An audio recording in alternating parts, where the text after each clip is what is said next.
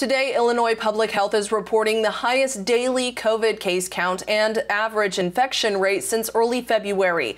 3,526 new confirmed and probable cases and 25 additional deaths. The state's seven day average case positivity rate is up to 3.5%, the highest since February 3rd. Katie Johnston for CBS Chicago.